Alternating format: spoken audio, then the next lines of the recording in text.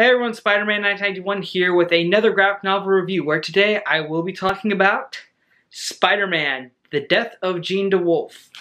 Alright, um, the story opens up with the police finding NYPD Captain Jean DeWolff dead in her apartment. Uh, she was killed by a serial killer known as the Sin Eater. Spider-Man hears about Jean's death and immediately talks to the investigating officer Stan Carter during the course of the, over the course of the story, uh, trying to keep keep tabs on what's going on with with trying to find Jean's killer and trying to help in any way that he can because Jean DeWolff was was an ally to Spider-Man of sorts and a major supporting character and so obviously her death really affects Spidey.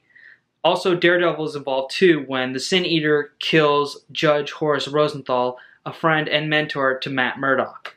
And during the course and of course Daredevil also wants to find the Sin Eater too However, during the course of the story, Spider-Man and D Daredevil clash with each other on how, how to handle this. Spider-Man is pretty much focused on trying to get revenge on the Sin Eater rather than just bring him to justice, which is what Daredevil wants.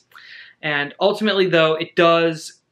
But however, ultimately, when it when there is a moment where they do find out who the real Sin Eater is, and as they're and as the police are taking him to jail, uh, Jean's stepfather is leading a mob trying to attack the Sin Eater.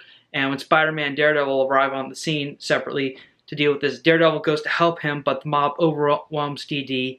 And Spider-Man sees this and he just gets ready to walk away. Then suddenly Daredevil yells out, Peter! And at, at that moment, Spider-Man's like, holy shit, he knows who I am. And so he decides to help Daredevil.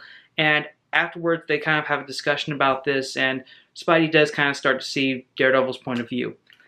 So also, yeah, this is the story, and yeah, obviously from what I just said, this is the story arc where Spider-Man and Daredevil learn each other's secret identities. So that is the main focus because Spider-Man and Daredevil do team up frequently.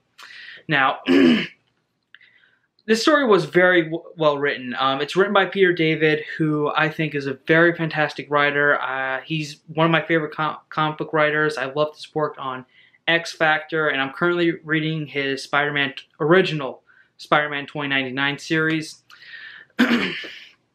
and he gives us an excellent story that provides an excellent a very good internal conflict for Spider-Man where he wants to avenge his friend, but he's also, but we're, but it's he's also worried a little worried about how far he is, starts to realize how far am I willing to go to do this, and and of course I did, and of course I did enjoy the scenes that were written, the dialogue between Spider-Man and Daredevil as they're arguing about how the justice system is and everything. I mean, that was really good dialogue. I like that. I like to see that a lot in, my, in the comics I read.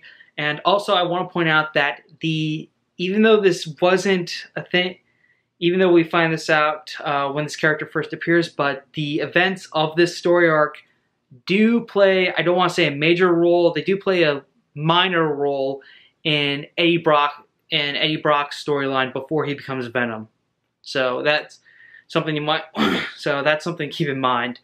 Um, overall, oh, also this collection does feature another story arc that Peter David did a year later called The Return of the Sin Eater, where the Sin Eater is released on parole.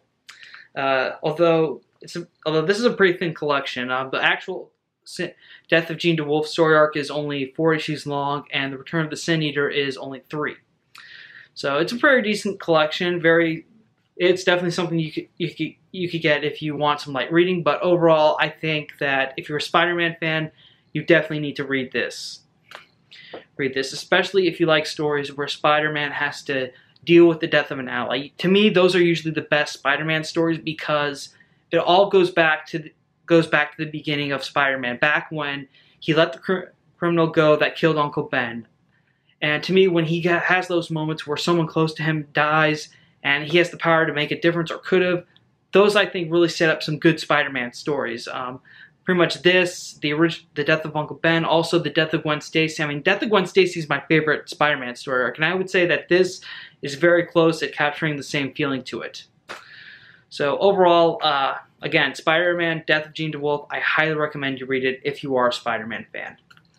Okay, thank you again for watching. Check out my other video reviews. If you like this video, uh, click like, share it.